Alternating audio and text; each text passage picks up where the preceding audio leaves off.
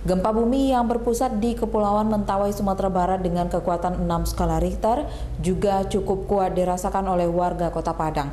Gempa susulan bahkan dirasakan sebanyak empat kali dalam waktu yang berdekatan.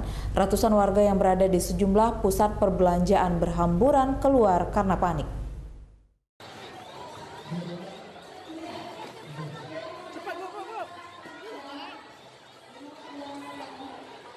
Beginilah suasana di salah satu tempat perbelanjaan mal yang berada di kawasan Khatib Sulaiman, Kota Padang. Saat gempa berkekuatan 6 skala Richter menganda Mentawai. Ratusan warga dan pengunjung mal ini panik dan berhamburan keluar gedung. Gempa yang berpusat di Kepulauan Mentawai ini dirasakan cukup kuat oleh warga Kota Padang. Berdasarkan catatan dari BMKG Kota Padang, gempa terjadi sebanyak empat kali dalam ukuran waktu yang berdekatan. Pukul 16 lewat 3, gempa berkekuatan 5,3 skala Richter dengan kedalaman 10 km.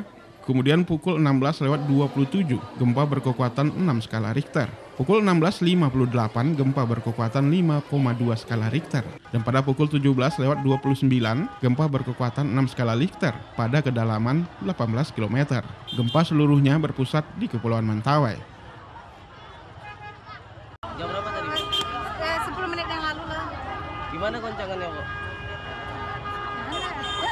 Tadi lagi di mana? Tadi lagi di mana? lagi anak lomba kan. Anak lomba. Ah. Kemudian Itu aja, jadi ah, goncangannya keras sih sekali hentakan gitu. Ini kerasa keras nggak goncangan di sini? Oh, terasa keras sekali 6,0 tadi yang terasa 5,3 6,0 dan angka selanjutnya eh, 4 3,4 3,1 daerah eh, asalnya dari daerah pe- pesisir selatan Dari Padang, Budi Sunandar, Ainis melaporkan.